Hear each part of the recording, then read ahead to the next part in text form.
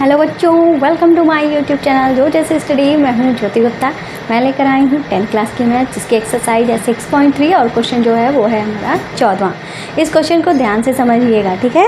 तो क्वेश्चन जो है वो हमसे कह रहा है, एक त्रिभुज ए बी सी की भुजाएँ ए बी ए सी तथा मदिका ए डी एक अन्य त्रिभुज पी क्यू आर की भुजा पी क्यू और पी आर तथा मदिका पी एम के क्रमशः समानुपाती है. दर्शाइए कि त्रिभुज ए बी सी जो है पी क्यू आर के समान समरूप है.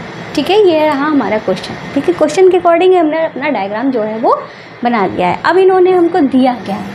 ठीक है क्वेश्चन नंबर हमारा फोर्टीन इन्होंने दिया क्या है? वो इन्होंने दिया है कि जो हमारी भुजा है ए बी ठीक है, इस, ये किसके समानुपाती है?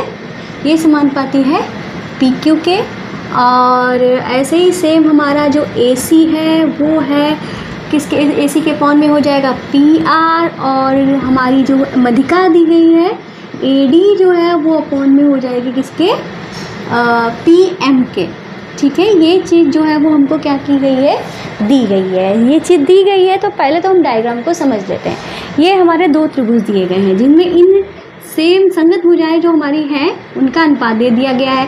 पर इस वाली भुजा का अनुपात जो है वो नहीं दिया गया है। इन्होंने मधिकाओं का अनुपात दे दिया है। इससे हम ए, इन्होंने ये जो मधिका की वजह से ये जो इन्होंने कहा है तीसरी भुजा नहीं देकर इन्होंने मधिका दे दी है। इससे हम क्या कहें? डायरेक्टली कह नहीं सकते हैं कि भाई हमारा ये दोनों त्रिभुज जो पी क्यू और ए बी सी जो है, वो हमारे समरूप है।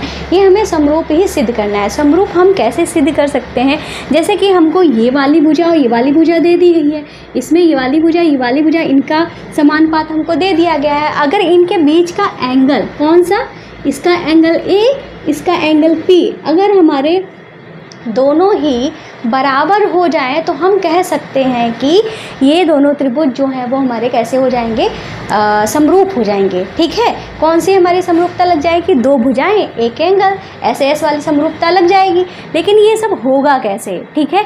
इसके लिए हम क्या करेंगे? हमें कुछ रचना करनी पड़ेगी। हम यहाँ पे कुछ कर नहीं सकते हैं, इसीलिए हमको क्या करना पड़ेगा?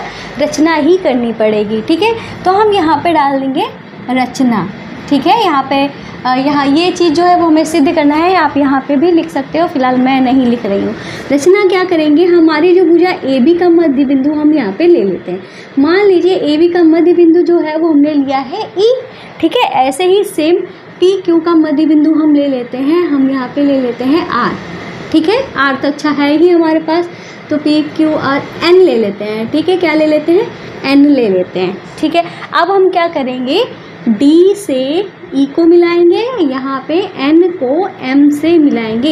ये हमने क्यों किया है? ये हमने इसलिए किया है ताकि ये जो हमारा छोटा सा हिस्सा है, इसको हम क्या कर सकें? इस छोटे हिस्से के समरूप कर दें।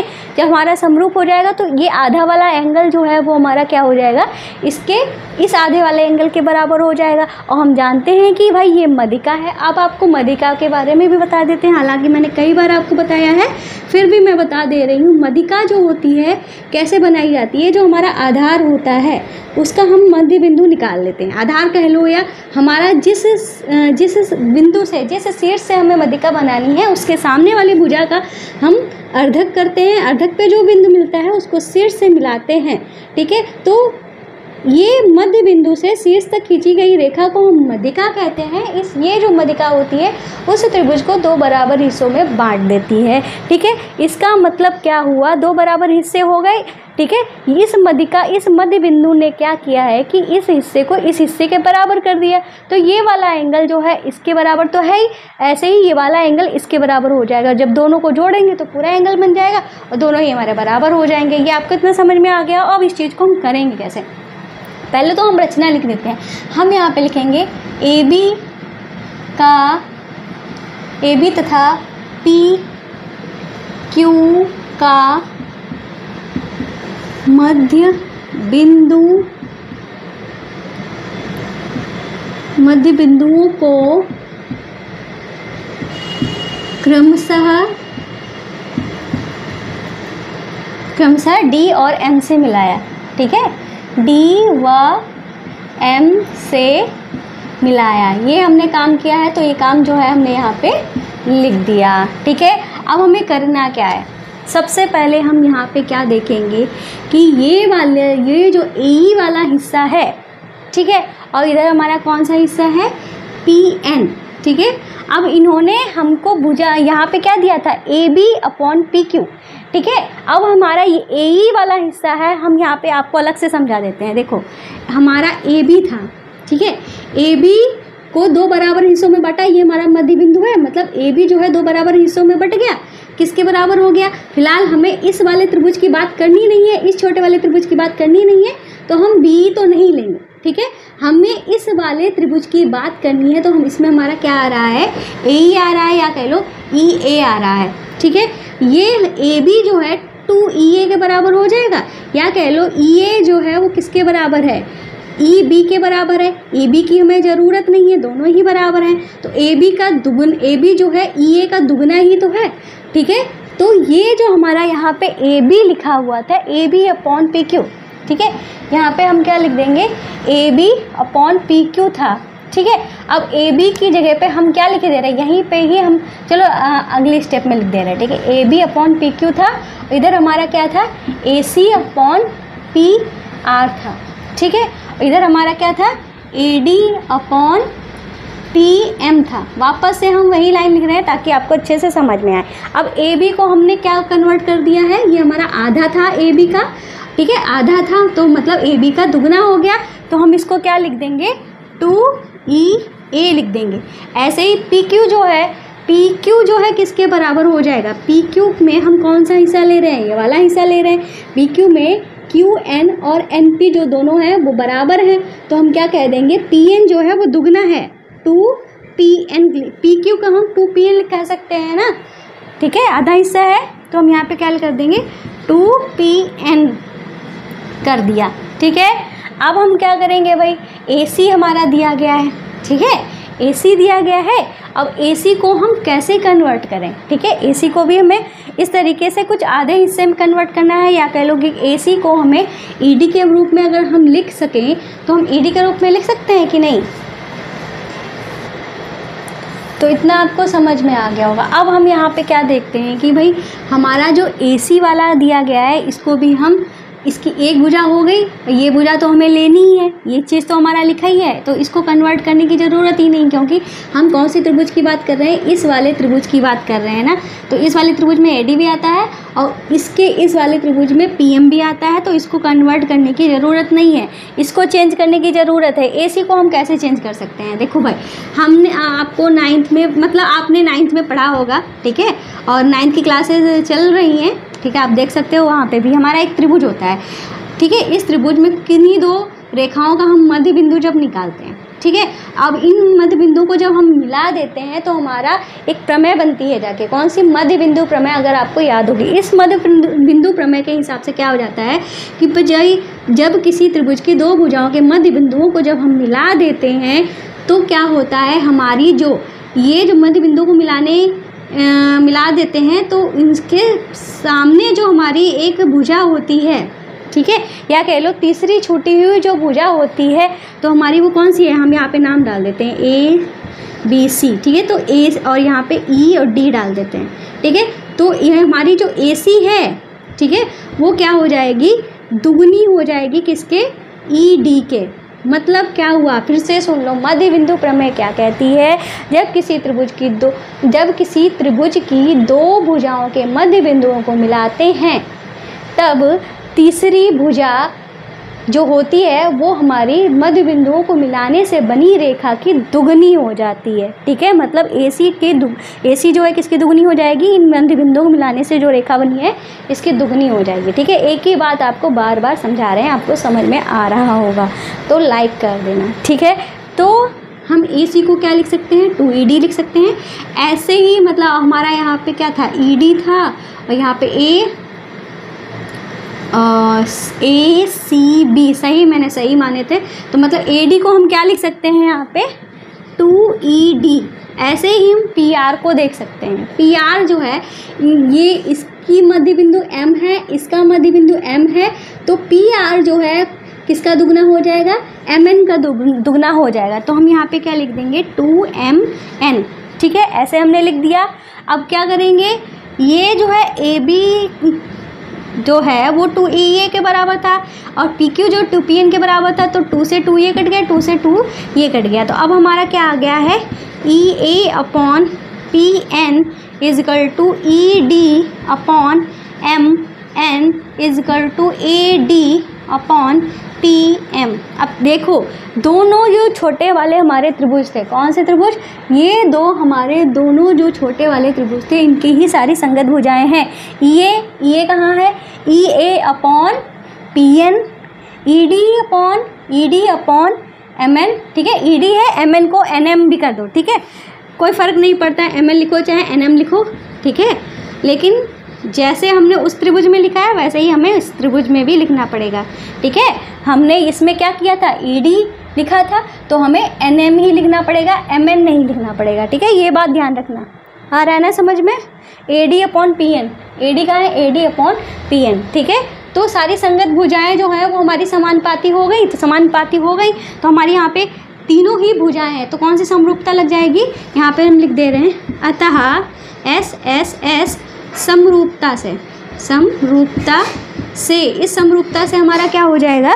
त्रिभुज कौन सा है?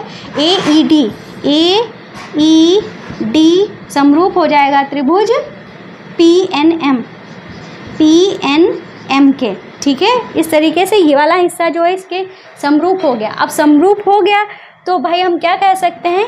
अतः समरूप हो गया तो इसके सारे एंगल सारी भुजाएँ जो हैं, वो भी सारी हमारी कैसी हो गई हैं? बराबर हो गई हैं। तो हम कह सकते हैं, अतः कोण ई ए डी जो है, वो बराबर हो जाएगा कोण एन पी एम के ठीक है? कौन सा एंगल हमने बराबर कर दिया है? इस समरूपता से ये वाला एंगल जो है, वो इस वाले एंगल के हमने बराबर कर दिया है। अब आधा हिस्सा जो है, आधा एंगल जो है, वो हमारा बराबर हो गया है। बराबर हो गया है तो हम यहाँ पे लिख सकते हैं इसी प्रकार। ठीक है? क्या लिख सकते हैं? इसी प्रकार क्या हो जाएगा? इधर वाला हिस्सा जो है, ठीक है? अब ये, हम, ये मदिका थी ना? ये हमारी क्या थी? मदिका थी। मदिका का ये हिस्सा इस हिस्सा के बराबर है सेम ऐसे ही मदिका का ये हिस्सा इस हिस्से के बराबर है। अब इस हिस्से को इस हिस्से के बराबर कर दिया तो ये वाला हिस्सा भी अपने आप ही इसके बराबर हो जाएगा। इसी प्रकार में क्या लिख देंगे? हाँ, हमारा क्या हो जाएगा? एंगल कौन सा है? डी ए सी बराबर हो जाएगा एंगल एम पी आर के। ठीक है? ये दोनों हमारे, इसको हम समीकरण नंबर एक मान देंगे, इसको हम समीकरण नंबर दो मान देंगे, ठीक है? अब दूसरी समीकरण में हमने क्या किया है? ये वाला हिस्सा, इस वाले हिस्से को इस वाले हिस्से के बराबर कर दिया। अब हम क्या करेंगे? इन दोनों समीकरणों को क्या कर देंगे हम? जोड़ देंगे, ठीक है? इसके लिए बिगाड़ना पड़ेगा हमें। ठीक है? आपको समझ में आ रहा होगा? तो भी लाइक ज़रूर कर देना और चैनल को जिन्होंने अभी तक सब्सक्राइब नहीं किया है, वो कर दें।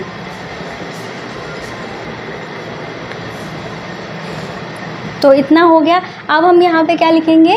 अब हम यहाँ पे क्या लिखेंगे? समीकरण एक प्लस समीकरण दो से।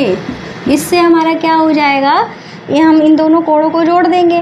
कोण ई ए डी प्लस कोण डी ए सी बराबर कोण एन पी एम प्लस क्या है? M P R, M P R, ठीक है? इन दोनों कोणों को देखो। B A D plus D A C मिल हमारा क्या बन गया? पूरा ये ए कोण बन गया। तो हम इसको क्या लिख सकते हैं? कोण बी ए सी ऐसे ही इन दोनों कोणों को मिला के इस वाले कोण और इस वाले कोण को मिला के हमारा क्या बन गया? क्यू पी आर क्या बन गया है? क्यू पी आर तो हम यहाँ पे क्या लिख देंगे? क्यू पी आर ठीक है? तो अब हम यहाँ पे देखते हैं, कोण ए जो है पी के बराबर हो गया है। कोण ए को हमने कोण पी के बराबर कर दिया है। यही चीज़ हमें करना था। हमने कर दिया। अब हम यहाँ पे कैसे लिख सकते हैं? अब हम यहाँ पे लिख देंगे, अतः त्रिभुज ए बी सी तथा त्रिभुज पी क्यू आर में, ठीक है? अब इतनी चीज़ तो हमको दी गई थी। क्या दिया गया था? A B upon P Q is equal to A C upon P R ठीक है? ये चीज़ जो थी, वो हमको दी गई थी तो हम यहाँ पे लिख देंगे, दिया है। ये हमारी हो गई दो भुजाएँ। ठीक है? समानुपाती जो भुजाएँ हमको दी गई थी, वो हमने यहाँ पे लिख दिया। बाकी जो हमारा एंगल था, वो हम यहाँ पे लिख देंगे। तो हम यहाँ पे और ये लिख देंगे। कोण ए इज़ इक्वल टू चाहे तो ए लिख दो, चाहे पूरा लिख दो, कोई फ़र्क नहीं पड़ता। कोण ए इज़ इक्वल टू कोण पी ठीक है? तो ये चीज़ हमने अभी सिद्ध किया। तो यहाँ पे लिख दो, अभी सिद्ध किया। अभी सिद्ध किया तो हमारा भुजाएँ भी मिल गई, एंगल भी मिल गया। तो हम यहाँ पे क्या लगा देंगे? अतः ए, एस ए, एस, समरूपता की कसौटी से। इस कसौटी से हमारा क्या हो जाएगा? त्रिभुज जो है हमारा कौन सा? ए बी सी समरूप हो जाएगा त्रिभुज पी क्यू आर के। क्वेश्चन जो है काफ़ी लंबा था। और थोड़ा समझने की ज़रूरत थी इस क्वेश्चन को। और फ़िलहाल आपको बता देते हैं कैसे हुआ। जब हमारी दो भुजाओं का अनुपात दिया होता है, समान पात में होते हैं तो उनके बीच के एंगल अगर बराबर हैं तो वो दोनों त्रिभुज जो है, हमारे कैसे हो जाते हैं, समरूप हो जाते हैं। ये बात मैंने आपको पहले भी बताई थी। तो आज की क्लास जो है, यहीं पर समाप्त होती है। उम्मीद है क्लास जो है, आपको अच्छी लगी होगी। तो भाई, हमारे चैनल को सब्सक्राइब करना वीडियो को लाइक करना आप नहीं भूलेंगे। अगर आपको फ्री में बुक्स वगैरह ठीक है? सारे चैप्टर्स के सोलूसन सारी बुक सब कुछ फ्री में चाहिए। तो आपको इसके लिए हमारे ऐप जोजस स्टडी को डाउनलोड करना पड़ेगा, जो आपको प्ले स्टोर पर मिल जाएगा। बिल्कुल फ्री ऐप है। आप कहीं भी जाएँ, उस ऐप को यूज़ कर सकते हो बिल्कुल फ्री में। तो आज की क्लास में बस इतना ही। मिलता है नेक्स्ट वीडियो में। तब तक के लिए बाय बाय